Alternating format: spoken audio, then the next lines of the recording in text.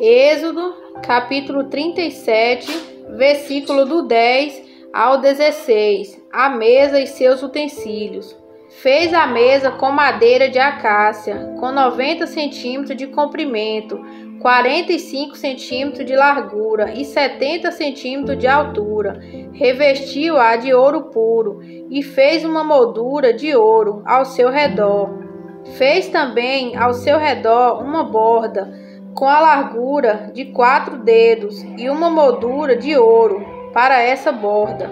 Fundiu quatro argolas de ouro para a mesa e prendeu-as nos quatro cantos, onde estavam os seus quatro pés.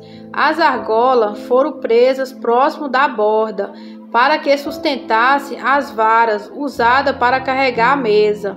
Fez as varas para carregar a mesa de madeira de acácia, revestida de ouro, e de ouro puro fez os utensílios para a mesa, seus pratos e recipientes para incenso, as tigelas e as bacias nas quais se derrama as ofertas de bebidas.